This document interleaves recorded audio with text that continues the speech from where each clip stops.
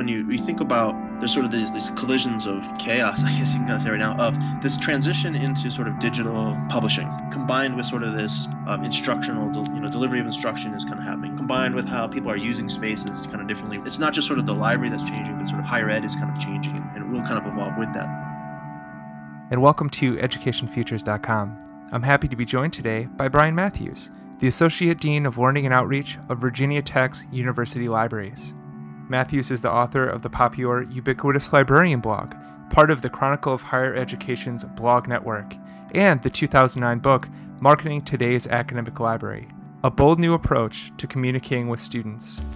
Recently, Brian gained international attention for his work Think Like a Startup, a white paper to inspire library entrepreneurialism, intended to inspire transformative thinking in higher education using insights from startup culture and innovation methodology. Thank you for joining me, Brian. What motivated you to write Think Like a Startup? This question of how do you define a startup, and it's you know I kind of mentioned it in the paper, but that it's really an organization trying to do something new under conditions of extreme uncertainty. Which you know I think if you if you look at a lot of the higher ed literature right now, there's a lot of concern about not just libraries, but how higher ed is sort of evolving. We can learn from companies or organizations that are kind of doing that. Brian, I was hoping you could elaborate. Um, you have a really wonderful quote speaking about culture change uh, within academic libraries. You say, We can't hire a few creatives and improvisational individuals and expect them to deliver new service models if the work culture is not ready for the new service models. We can't expect entrepreneurialism to flourish in a tradition obsessed environment.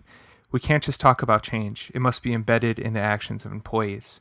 Brian, as a leader, how do you work with your colleagues at academic libraries to help build this new creative and innovative culture? I'll make two comments on that. One is, you know, I've really been rediscovering, I guess, you know, the, the sort of Daniel Pink book, Drive. He really talks about this thing called functional fixedness, this sort of cognitive bias that we have that limits a person from using an object in only the way that it's traditionally used. And it gets in this bigger sort of problem of whether you're talking about human resources or you're thinking about the sort of identity of the library or you're thinking about, you know, the person who's the, the shelver or, or has a really finite role. We kind of put them into these sort of labels and or these nice sort of categories and say it's sort of this is your job and and sort of that's it where there might be sort of other sort of skills or opportunities and, and things they have that they're they're interested in. And, and that the what we're kind of experimenting with is a thing where right now we're calling it hubs so there's sort of four hubs that we're kind of looking at. One is sort of like a, a learning commons hub. One is sort of a, an e-research digital scholarship kind of hub. One of them is a sort of collection analysis, collection management kind of hub. So the, the hub that I'm going to be running is called sort of a new learning initiative. And it's kind of connected to a, a, a campus-wide um, center that's emerging. It's a center of innovation in learning, which the library has a 25% stake in. And it's getting back to your question about how do you kind of engage people. We're we're we're, we're kind of you know we're not calling it the Google 20%, but we're kind of exploring really the kind of that model where will kind of enable people to be able to devote a percentage of their time away from the sort of their core duties and kind of invest their sort of time into uh, one of these kind of four hubs. And we kind of imagine it being sort of at least a one year commitment so people can cycle through, you know, and go to different hubs if they want and, and they can not be in a hub for a year or two depending on what, what they're doing. But it's still going to be sort of fleshed out and, and, and developed and, and the types of projects and activities that they're doing. But but it's it's a way for people who, who maybe don't traditionally get an opportunity to sort of volunteer or to kind of get involved to kind of be in, into something that's a little bit more of a very experimental, very sort of R and D focused, very different type of work. That's that's not really like a, a, committee. You know, the way I'm treating my hub is it's really much kind of like a fellowship almost, where a community of practice, where people come in, they'll have a, a projects that they're kind of doing independently, and then they might have projects they're doing collaboratively with you know maybe someone else from the library or from you know, working with the, the, writing center or working with a, a, faculty who's, who's kind of out there trying something kind of new. So it's, it's, a, it's really a, a platform to get people experimenting outside of just um, the sort of learning that we kind of typically associate with sort of library instruction, information literacy, and that kind of thing. It's, it's, it's um, it really kind of blows up that whole thing and, and looks more at the, the wider learning landscape. So it's still kind of being put together, but I think it's it's opportunities like that. I think another another approach that I've seen that's been really successful, particularly at NC State, you know, making funds available for people to kind of pitch a project and, and, like a micro grant or, or, something like that. So that way, you know, someone has a, a concept that they want to do, then they're able to kind of make that happen. Again, you don't really think of the talents and and um, interests that people have until you kind of give them that canvas to kind of try some new things. And you know, everyone kind of talks about they want to be innovative, they want to be you know this and that, and it's it's you know how do you demonstrate that by allowing people to, to, to do that kind of thing is what we're what we're kind of dabbling with. Excellent. Brian, as you know, one of the hottest topics right now are different ways in which colleges and universities are packaging their courses and making them available for students. Certainly, one idea is is the MOOC, the massive open online course. It's interesting to think about students and their informational needs when they're engaging in massive open online courses. What opportunities are available for academic libraries? Big picture in terms of you know libraries, you know I kind of see it. This is really a, a platform for us to kind of become and to demonstrate sort of ourselves as sort of like public thinkers or public makers, learners, teachers, that kind of thing. Where if you think about, you have this this over 100,000 people in a class, and it's a great way for librarians or a team of librarians. If you take something like ACRL's STS group, the Science and Technology section, you get 20 volunteers or something like that, where they kind of will will join and participate in these, not necessarily to sort of play a traditional library role to like answer questions or, or, or do that, but really to kind of engage in that community. I think it, it, it, showcases here's a here's a librarian that's sort of you know side by side with you as sort of these these learners and then don't have to necessarily be learners at your school. You're kind of really kind of doing that part of showing how the librarian can be there and can facilitate a sort of a, a role if, or instructional role if that happens to, to, to surface. But it's really about kind of becoming part of that sort of learning experience in, in, in the broadest sense. And i think it's you know we talk about how do we sort of demonstrate that sort of redefining of the library. I think it's, it's it's things like that of like finding ways that we kind of connect to this sort of experience without having to wave that flag of like I'm here as a librarian and this is this is the sort of the the the suite of services that I can offer. I love the general concept about sort of networked learning and peer-to-peer knowledge exchange and the, the self-paced and, and when you when you read about this or hear people talking about it, there seem to be sort of two threads of that conversation. One side is this is going to replace higher ed as we know it. Everything's going to be delivered in this format, and then we're going to come down to like 10 or 20 universities in the world, and, and that's kind of it. And you know, I think the other side that's, that's probably a little bit more sort of realistic is how does this sort of supplement higher education? That's fascinating. Brian, recently faculty at several institutions, including Harvard, have voted in support of publishing in open access journals. What do you think the future is for open access journals and academic publishing in general? I think the really the, the bigger driver than than these elite universities is kind of what happens with the, the, the government the Fed, where if you're, you know, the whole thing about grant, federal grant money being used for publications and, and making those publications available to the to the public, I think that's kind of a stronger thing. Where if, if a lot of those institutes and, and, and granting agencies kind of in, in, insist on that, then um, I think that OA has kind of a, a better chance of, of, of seeing that happen. Brian, as you know, decreasing support of higher education has really threatened the collections of academic libraries. There's a real fear that in the future, a lot of institutions will be priced out of essential academic databases and journals. Do you think there's an opportunity for a new service or product to enter the market, something like a Spotify or iTunes for academic research? Well, depends on who you are, but I think that's the sort of hope, you know, a little bit that that kind of comes along because that way you kind of you, you know you pay by that drink or you know instead of buying this journal, I just need that article or this chapter or something like that. I've been seeing a lot more kind of in in, in like Fast Company and, and Wired and things like that about the, data. And and I kind of feel you know everyone wants to kind of manage your data and everything like that. And that's what I kind of wonder too about libraries in terms of you know we can kind of do it, but we're kind of a you know a small operation compared to like an Amazon or something like that, where like they kind of deal with big data. And so I, I, I worry a little bit that we kind of might miss out on that sort of opportunity a little bit to kind of be like a, a data management kind of thing, where if if if someone kind of comes forward with a, a very inexpensive and, and sort of scalable kind of thing like that, there goes the data, you know so I don't know. I don't know if it's lucrative. That's the kind of problem is is sort of you know the iTunes approach is you know it works for like music and it works for film and it works for sort of popular uh, novels and things like that. But how does it how does it work in that sort of scholarly communication world? Brian, your Think Like a Startup white paper reminded me of one of ARL's scenarios on research entrepreneurs. This scenario describes how in the future librarians, and researchers will not work in traditional contexts at academic institutions or within disciplines, but rather will chase short and long term contracts with public and private businesses and nonprofit institutions. I'm wondering, how do you think your work relates to this idea of research entrepreneurs? I see the potential of that. When I read that scenario, I see it where sort of researchers become not necessarily like individuals, but you kind of have like teams, kind of like an architectural firm or a design firm or something like that. And so you have a, you know librarian like skills that are sort of involved with that. And just like you'd have like you know if you're applying for a grant to do something with cancer or these you know cell work or something like that you kind of frame that where oh we have someone that does, does design we have the information informatics kind of piece we have this person who's going to curate all our data and this kind of thing. So that that's kind of how i see it. If, if we take that scenario sort of really literally i kind of see you know librarian skills the research to the sort of presentation to the curation to the to the archiving you know those sort of more you know traditional roles but but being packaged in sort of a, a design firm or an art, uh, um, a research firm. So you know i don't know that, that that's going to um, employ everybody right now i mean because i think again that that becomes more of you come have really competitive teams rather than a lot of sort of overlap in terms of like every university is applying for for these same grants. I think it becomes much a much smaller sort of class like you said of, of sort of researchers. A lot of your work and research and presentations has focused on creating innovative cultures within libraries.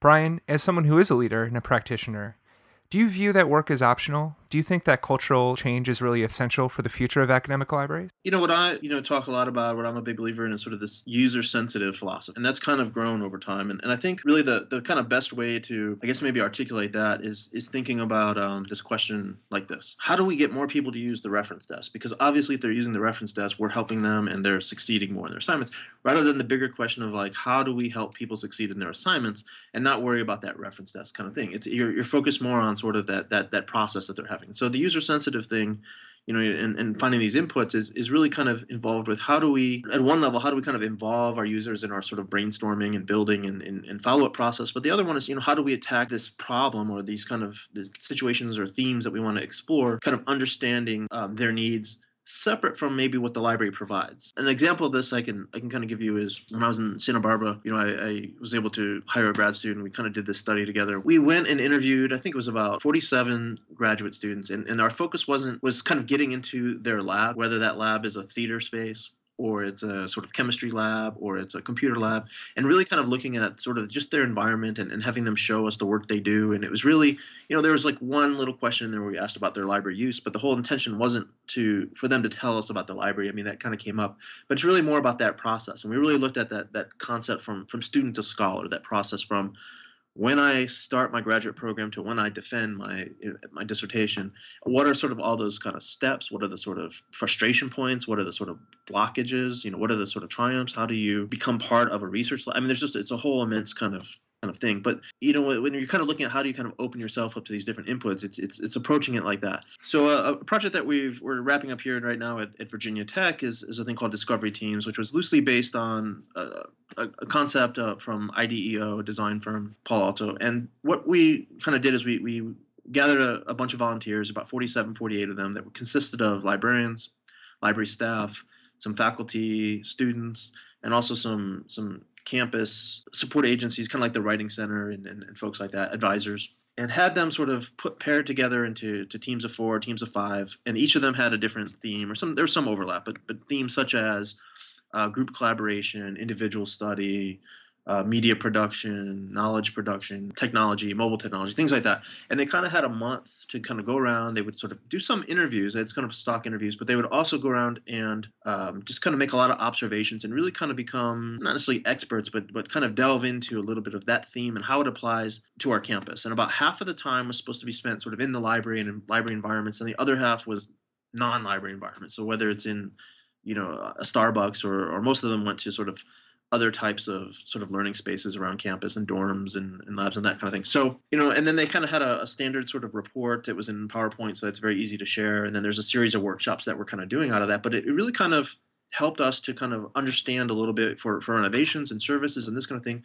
sort of this this reality of students. And what we're trying to to really kind of get at is as close as we can to sort of that learning process, rather than just libraries provide this niche role of being we help you find that article you need for that paper, really understanding not just how do I attack that paper from beginning to end, but beyond that writing of that paper, there's this composition of, of, of, a design element, or there's this sort of video that I'm doing, or there's this data set that I'm like, you know, a, a richer, the goal was to kind of give our organization a sort of richer understanding of the types of work that students are, are, are doing. And then, so we're packaging that up over the summer and we're going to kind of push that back out in the, in the fall to probably like our student government and some faculty senate, you know, make some presentations on observations and this kind of thing and kind of build from there. But it's, it's really kind of trying to get us closer or refreshing our sort of minds, if you will, about the, the type of work that students are doing, and then it kind of uh, it allows us to sort of position ourselves. Of you know, there are opportunities, missed opportunities, or, or, or partnerships, or new partnerships, that kind of thing, of how we can kind of um, team up. So it's it's that kind of approach of not just kind of saying how do we make the reference desk more successful? How do we kind of get more people in the library? Or how do we get people using our ebooks? Or I mean, that's that's a different kind of framework. What you know, what I'm more interested is is getting close to the process. Brian, I'm interested in the idea of power. In your white paper, you advocate for people to create new partnerships outside of the library. When you think about startup culture or creating these new hubs, as you described at your campus, do you think this really changes the dynamics of how your colleagues work across the institution? I mean, I think it gives them more opportunity to sort of interact with people at different levels. Um, I think there's there's still sort of our, our formal kind of college liaison, college we kind of call them college librarians here, but there's that sort of um, departmental liaisonships that'll kind of happen, and there's certain relationships that are there. But when we think about it sort of administratively, you know, there's there's a lot of things that are kind of thrown at, at us, and that, that I've kind of I'll have someone kind of approach me and say, you know, I'd really like to kind of put a program together that involves one department and another department. They don't kind of call it that, but there's kind of like, you know, we'd like to kind of host an event. We'd also like to have an instructional component, and then oh, we'd like to archive it as well. So there's sort of three different kind of units that kind of come to that. From the top, perspective, you know, what I'm kind of looking at is how do we sort of connect these dots? You know, we kind of talk a lot about sort of mapping the library to, to teaching and learning and research. And so that's kind of how I see it is we kind of can sort of get doors open for the library and, and get doors open for the librarians and then they can kind of have these these types of relationships for that so that's kind of a thing we're kind of pushing too is how do we kind of um, maybe kind of stamp this brand as you know the library is about partnerships you know in the largest vaguest sense possible and and so then how do we kind of prove that? How do we show how we're partnering in sort of academic ways or student support ways or you know cultural ways you know these, these different threads that you kind of look at? But sort of partnership is is kind of a, a, framework that we kind of work in. So it's it's it's it's, it's really kind of looking at that cultural thing of, of how do we kind of enable people that, that are, are, are forthcoming with ideas to to really kind of accelerate. You mentioned in your white paper that people's understanding of the library is changing so much that, in fact, the name library might be a hurdle to its progress. Do you think in the future the modern academic library will need a new name? I think we definitely want to keep the keep the name and then we just kind of it'll it'll slowly kind of evolve. I think when you you think about there's sort of these these collisions of chaos, I guess you can kind of say right now, of this transition into sort of digital publishing, combined with sort of this how um, instructional, you know, delivery of instruction is kind of happening along combined with how people are using spaces kind of differently. Where there's there's it's it's not just sort of the library that's changing, but sort of higher ed is kind of changing, and, and it will kind of evolve with that.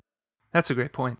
In the future, what skills will be important for academic librarians? I think I've read about it somewhere in ARL, but you kind of hear this this sort of metaphor in, in, different times. When we talk about the future of libraries, there seem to be two, and there's never just two, but but two distinct realities. One is sort of the, the desert, and the other is the oasis, where there's dried up sort of libraries becoming sort of useless, if we will, in, in sort of a in a in a traditional sense of not being used as much as they they could be, or they have these oases or these places that evolve into being these, these very rich very in sort of engaging i'll say environments but it could be a virtual environment doesn't mean it has to be a physical environment as well. So i think there's going to be this this sort of path that's sort of evolving in terms of, of how we're moving.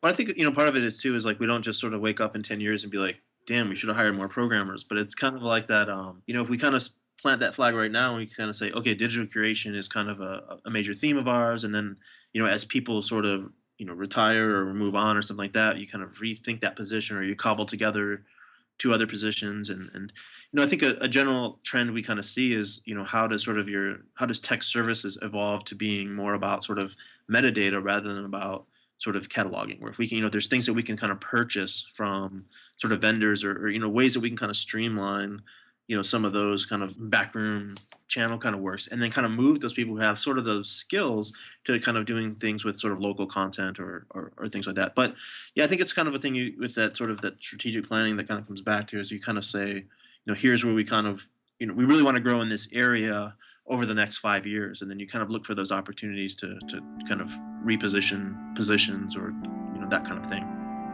Brian Mathews thank you so much for speaking with me for more information on Brian's work and a link to his Ubiquitous Librarian blog, as well as his white paper Think Like a Startup, please visit educationfutures.com.